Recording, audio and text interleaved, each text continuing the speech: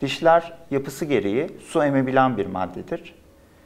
Yenilen ve içilen salçalı, baharatlı yiyecekler, e, meyve suları, çay, kahve, kola ve sigara gibi e, maddeler dişlerin renkleşmesine sebep olur.